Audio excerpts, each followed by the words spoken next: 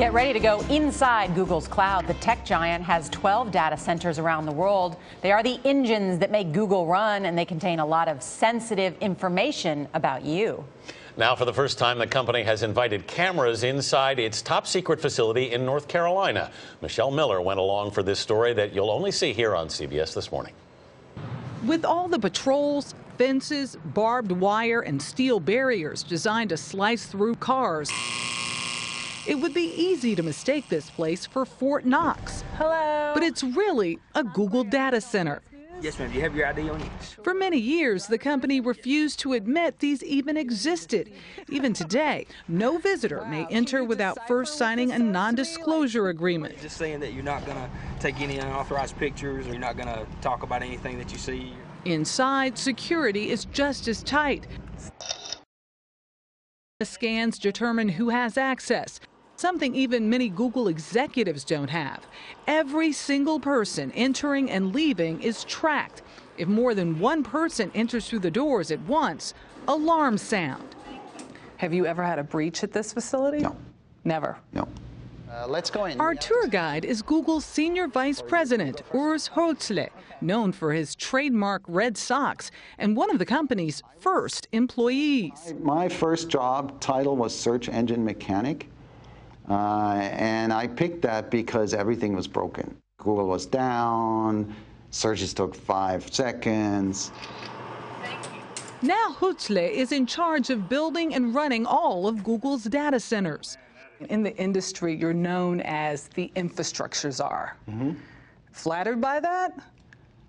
Um, you know, we. Uh, Yes. Yes.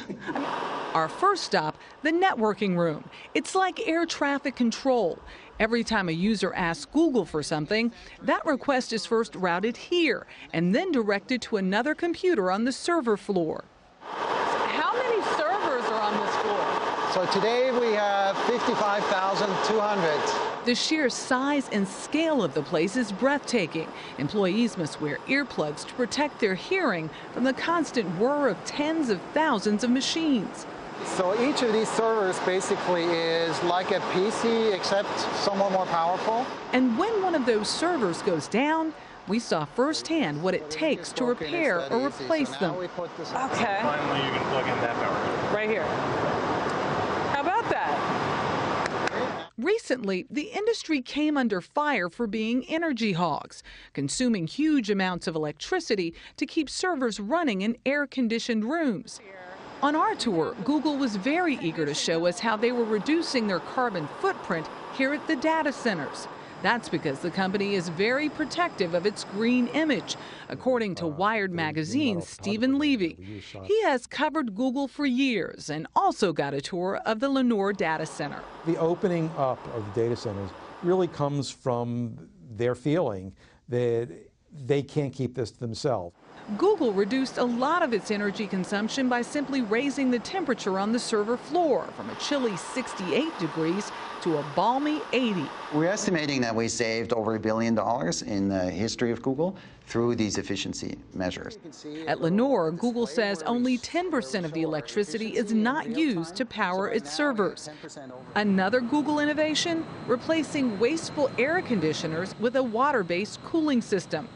But for all of the company's efforts to become energy efficient, a lot of their power still comes from non renewable sources. The power here is coal. The power here comes from whatever the local utility uh, uh, provides. Which isn't clean energy. Which in, in North Carolina is, not, is about two thirds coal, yes. We are currently at about 35% of renewable energy, and we're aiming to get eventually to 100%.